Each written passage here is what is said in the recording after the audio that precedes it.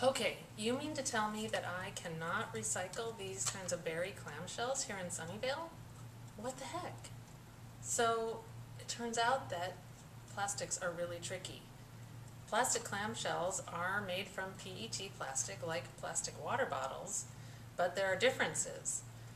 And those differences can be contaminants. For instance, berry containers are often tinted slightly to make the berries look riper, and that dye is a contaminant. A lot of containers have large stickers on them, and that glue is a contaminant. Plastic beverage cups often have printing on them, and that ink is a contaminant. So all these contaminants make this kind of plastic unattractive to buyers.